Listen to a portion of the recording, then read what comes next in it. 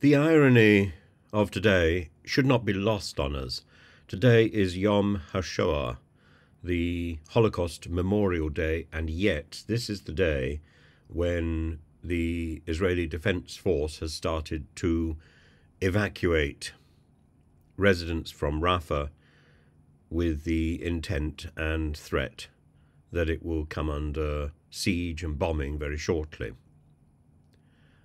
What I don't quite understand is how this can be going on at the same time as a mission in Cairo to gain a ceasefire, a ceasefire that Netanyahu says will not stop the Rafah attack. Well, then it's not a ceasefire, surely.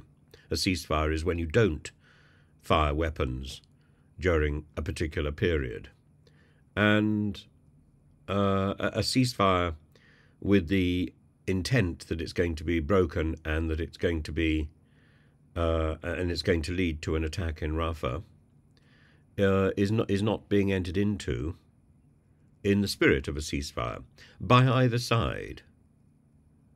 With stories that the Hamas group intends to regroup and attack Israel, uh, uh, uh and Israel intends to attack Rafah. Both sides have to commit to uh, a vested interest in peace. It's not beyond an impossibility that the Hamas fighters of today can be the politicians of tomorrow. After all, that was the basis on which modern Israel was established. Many of the early politicians in modern Israel were participants in the guerrilla war to gain independence from the British Mandate. And so there should be sympathy. There should be a process of recognizing the common uh, the common tropes between both Israel and Hamas and to finding some sort of resolution. There will not be resolution while both sides maintain a sort of crossed finger behind the back, which says that they're going to go back to the gun, the cannon, and the bomb. There has to be an end in sight. And this is why I think the discussions about ceasefires and pauses are abstract and ultimately n- not positive.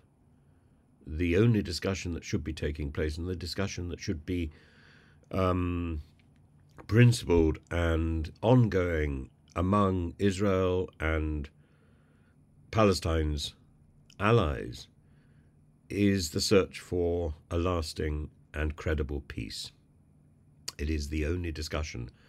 And the fact that Turkey has withdrawn from trade with Israel, um, again, th- th- this is sanctions in all but name. Sanctions do not work. Sanctions close the door to negotiation.